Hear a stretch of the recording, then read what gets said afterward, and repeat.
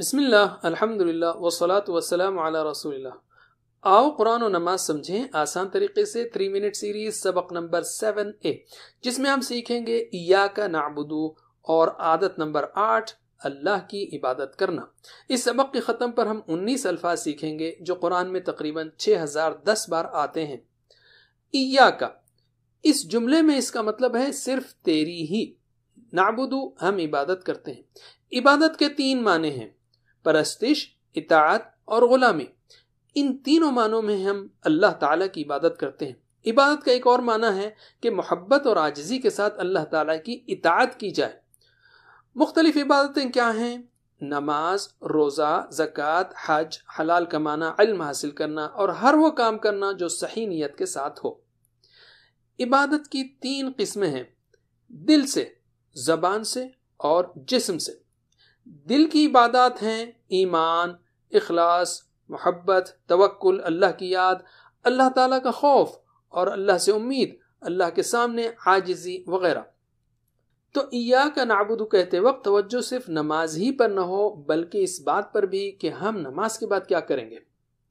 ہو سکتا ہے کوئی یہ کہے کہ ہم عبادت کیوں کریں؟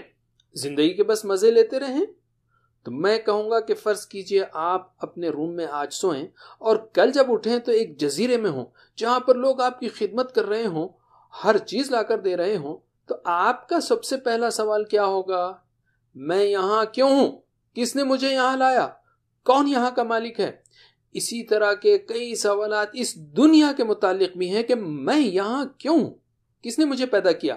ان سوالوں کا جو جواب آپ کے پاس ہوگا، اسی پر آپ کی زندگی کا اسٹائل ہوگا، سوچ ہوگی اور اعمال بھی۔ اسی کے صحیح جوابات قرآن و حدیث میں ہیں۔ جب ہم دیکھتے ہیں کہ اللہ تعالیٰ ہی ہے جس نے ہمیں پیدا کیا ہے اور بے شمار نعمتوں سے نوازا ہے تاکہ ہم اس زندگی کے مزے لیں، تو جی چاہتا ہے کہ ہم اس کا شکر کریں، محبت کے ساتھ اس کی عبادت کریں، اس کی تعظیم کے لیے اپنے سر کو جھکا دیں یا زمین پر رکھ دیں۔ حقیقت یہ ہے کہ اللہ نے ہمیں عبادت ہی کے لیے پیدا کیا ہے۔ ہم جسم اور روح سے بنائے گئے ہیں۔ اگر ہم روح کو اس کی غذا نہیں دیں گے تو ہم ہرگز خوش نہیں رہ سکتے۔ صرف اللہ کے ذکر اور اس کی عبادت سے ہی ہمیں سچی خوشی اور سکون مل سکتا ہے۔ بہت سے لوگ اس حقیقت کو بھول جاتے ہیں اور پیسہ خوشی، مقام اور مرتبے کے پیچھے دوڑتے رہتے ہیں۔ لیکن آپ نے دیکھا ہوگا کہ بہت سارے ایکٹرز ایکٹریسز اور گانے والے جن کو دنیا سب سے خوش قسمت سمجھتی ہے، وہ شراب ڈرگز وغیرہ لیتے ہیں۔ کوئی خودکشی بھی کرتا ہے۔ کیوں؟ انسان اللہ کی عبادت نہ کرے تو مختلف مصیبتوں میں گھر جاتا ہے۔ ہم کیسے اس کی عبادت کریں؟ محمد صلی اللہ علیہ وسلم کے جیسا جو صحیح اور مکمل عبادت گزار تھے وہ دنیا اور آخرت دونوں میں سب سے زیادہ کامیاب ہیں۔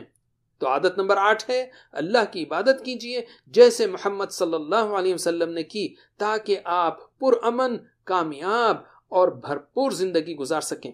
آج کے لیے اتنا ہی۔ جزاکم اللہ خیر۔ والسلام علیکم ورحمۃ اللہ